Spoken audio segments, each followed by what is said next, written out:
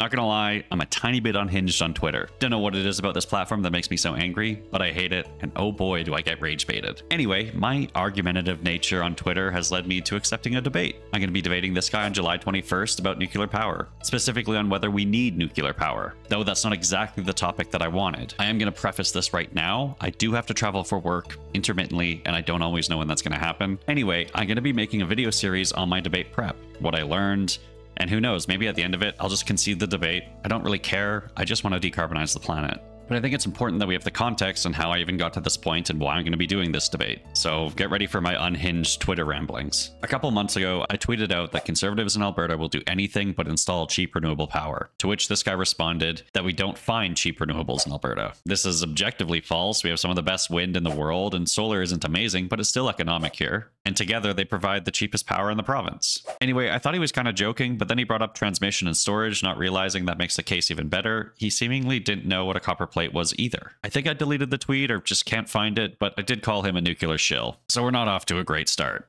My bad. Then he makes a weird northern community argument. I'll say it a million times. Renewable energy systems are a transition period, so obviously you're going to focus on like the biggest bang for your buck first. Then I add some prices to the context of the discussion, and then he talks about like marginal dollars. Uh, and to be fair, he wouldn't know that I've already done all this math, and the Lazard study doesn't actually include transmission. Then he starts to mention discount rates, and this is a tactic used by nuclear activists. In fact, they're usually terrified of discount rates because it shows how money now is, worth more than money later. And since renewables are built faster and cheaper, they kind of blow the economics out of the water against nuclear. But that point is kind of moot because the Lazard study uses the same investment return ratio, so IRR of 12%. He makes a really weird argument, almost arguing for higher energy costs because you pay individuals more. This is a fallacy since low energy costs enable more jobs to be built down the line than if you just focused on the energy production having high operating costs. It's really weird. The higher energy costs would just lead to less job growth and an overall worse economy. And this is going to be by a pretty dramatic margin. Things start to spice up a little bit at this point because he starts straw manning the points that I make, where I'm just trying to show that even if we get to 99%, that's pretty great. Then he essentially just calls me stupid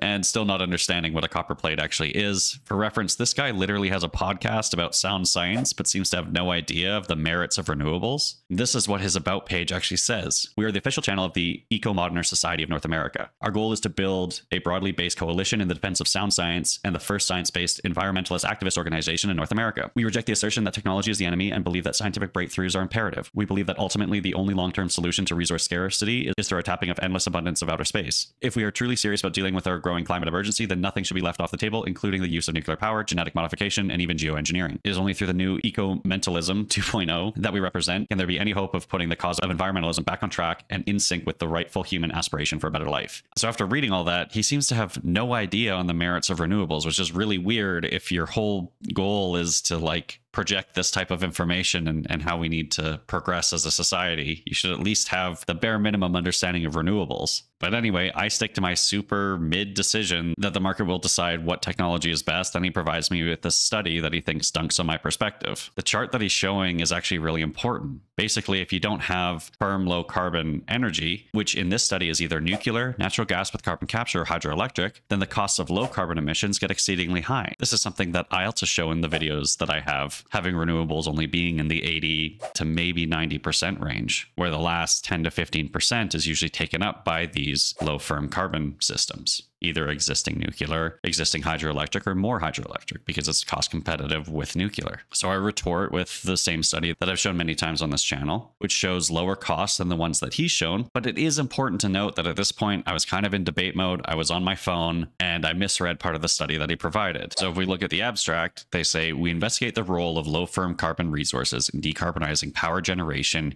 in combination with variable renewable sources battery energy storage, flexible demand, and long distance transmission. We evaluate nearly a thousand cases covering varying CO2 limits technological uncertainty, and geographic differences in demand and renewable resource potential. Availability of firm low carbon technology, including nuclear, natural gas, and carbon capture and sequestration, and bioenergy reduces electricity costs by 10 to 42% across fully decarbonized cases, below 50 grams of CO2 per kilowatt hour. These resources lower costs in the vast majority of cases. Additionally, as emission limits decrease, installed capacity of several resources changes non monotonically. This underscores the need to evaluate near term policy and investment decisions based on the contributions of long long term decarbonization rather than interim goals. Installed capacity for all resources is also strongly affected by uncertain technology parameters. This emphasizes the importance of a broad research portfolio and flexible policy support that expands rather than constrains future options. The issue here is that they do include hydro, they just don't actually say it. It ends up being a comparison by just solar, wind, batteries, and transmission versus solar, wind, batteries, transmission, and hydro and nuclear and all of these other technologies, which I already agree with. Again, it annoys the shit out of me that we don't include hydro when we're talking about renewable energy systems. But then when we go to the point of the study that I presented, it's about figuring out the best way to decarbonize at the lowest cost. And this is really important context. Because when you don't bundle nuclear with hydro, hydro wins out every time against nuclear. Then after this, he thinks that I'm lying for some weird reason. Again, for someone who runs a podcast on these topics, you'd think that he'd know renewable systems have come down in cost significantly over the last few decades. So I give him more evidence. He also seems to think that I'm scared of higher carbon taxes. But we can see that solar and wind have come down in costs from this study in 2018 and are already pretty close to their low end estimates. Batteries are also on their way to the low end too. But nuclear, well, $4,200 per kilowatt seems like a fucking pipe dream. Try $8,000 per kilowatt or more. Again, I make the hydro mistake, but rightfully point out that it ignores nuclear for the sole reason of costs.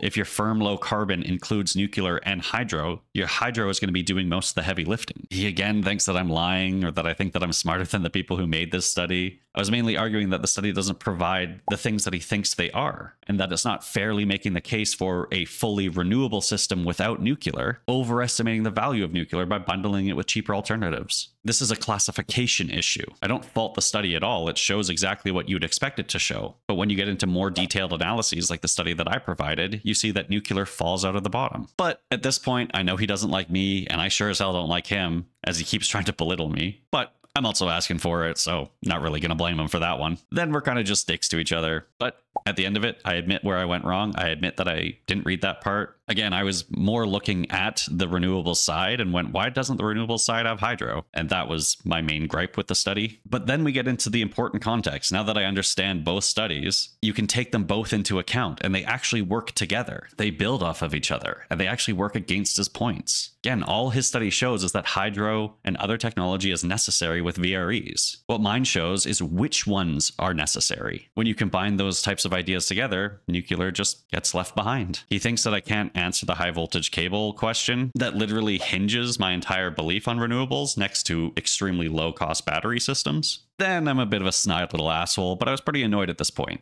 He proceeds to not look at the appendices, and then once I point that out, he stops responding. Now, I should have walked away at this point, wiped my hands, but apparently he lives a little bit rent free in my head. And when I'm in a fighting mood, I jump onto Twitter, so fuck me. Fast forward two months, and then Twitter sends me this delicious, delicious rage bait. This guy's arguing with somebody else. So I start chirping him. Not a great look, but here we are. You can read the conversation. There's not a whole lot of substance. He's being pompous. I'm being a dickhead. I still think it's weird that he thinks that he came out smelling like roses when he's the one who stopped responding, but whatever. Fuck me. It's stupid online drama. This leads me to wanting this topic on which energy sources we should focus on, but he retorts with new nuclear versus no nuclear as the topic. To be fair, it's a lot catchier, but I don't think that I fully agree with the prompt. Nevertheless, I'll take it honestly because I agreed to the debate. So let's start with my current stance and my current bias. If you're familiar with my channel at all, you'll know that I have a pretty neutral take on nuclear power. I think it's a good source of energy and that we definitely should not shut down plants prematurely. It's one of the safest energy sources on the planet, along with being low carbon. I personally have written papers praising nuclear, worked with a nuclear power company for my fourth year chemical engineering capstone, and I'm currently working with a nuclear power company for a paper that I'm writing. But my broad views on nuclear changed around a year or two ago when I was researching these types of topics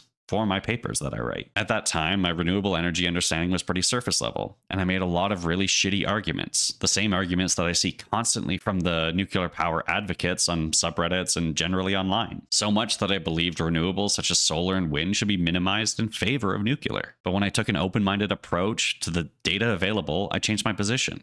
I was wrong, and I presented most of that data here on this channel. This is what my stance is now. Nuclear power, for the most part, is unnecessary. When you factor in the cost of transmission, battery storage, and VREs, they still outperform nuclear per dollar spent. The cost trajectory of solar, wind, and batteries have been impressive to say the least, and I believe that the social hesitancy is too high for nuclear power, increasing its investor risk. But for the sake of this discussion and my debate, I'm going to assume that's not even a factor. So even if we give nuclear power the benefit of the doubt, we're still looking at costs between 5,000 to $9,000 per kilowatt. In no world is that ever going to be competitive with renewables, even when factoring in all of this ancillary equipment that's required. I do think that nuclear power has a place, but realistically, that place is less than 5%. So, really, whether it's adopted or not will probably be inconsequential with the rapid technological development of VREs and renewable energy systems as a whole. If we're going to give the benefit of the doubt to nuclear, we should also give it to batteries. If batteries get down to the $20 per kilowatt hour range, it basically kills the transmission argument too. I have much more faith that we're going to have $20 per kilowatt batteries then we're going to have really low cost nuclear power plants. The investment risk of nuclear is really high, and I just don't think that it's worth it. But who knows? Maybe this research will change my mind. Again, I think it's really important when you're going into these types of discussions, though, to ask yourself, what would it take to change your mind? So, barring the social nightmare that is nuclear, the main things that would change my mind are as follow. If nuclear unsubsidized costs can be competitive with VREs, so likely in the area of 1,500 to $2,500 per kilowatt, if the building and development of nuclear facilities can be competitive with the deployment of renewable systems, so about less than five years, if nuclear power systems can operate as more than just baseload and meet variability in demand, and if nuclear can be cost competitive with hydropower plus transmission. These are broad areas that I'm going to be researching for this debate. Though, like I stated, his primary reference as a gotcha for nuclear power wasn't great, so I'm not really sure what other information he's going to provide. He stipulated that we provide each other our references by June 21st for the debate on July 21st. I would have been happy with an off the cuff debate, but I guess we're going to go down the more academic route. If you have any suggestions for research, let me know down below. And if you you'd like to be my sparring partner and take the other side, let me know as well. I can bring you on stream or we can have a private discussion, whatever you're more comfortable with. And I'll be making a series of videos around this topic for what I learn.